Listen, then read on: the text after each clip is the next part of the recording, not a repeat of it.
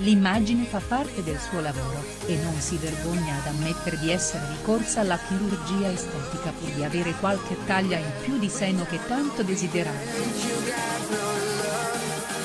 Alla vigilia dei 30 anni, però, Anna Tetangelo non gli dà poi così importanza, anzi, è convinta che la vera femminilità si nasconda in altre cose.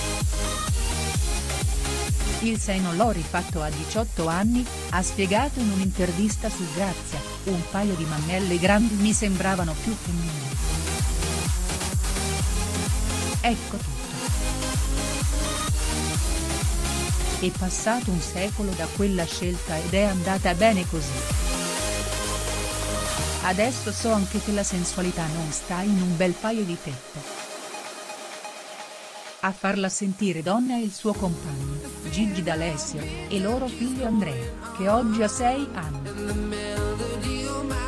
Nonostante sia una compagna e una mamma impeccabile, però, Anna Tatangelo non rinuncia alla sua indipendenza e al suo lavoro. Dal 1 dicembre al cinema con Natale al Sud, vuole sperimentarsi come attrice ma anche provare nuove cose, ho voglia di completarmi, di provare altre vie, non posso pensarmi uguale all'infinito.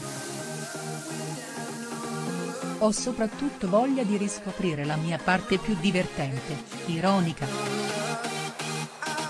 Quella che nessuno conosce.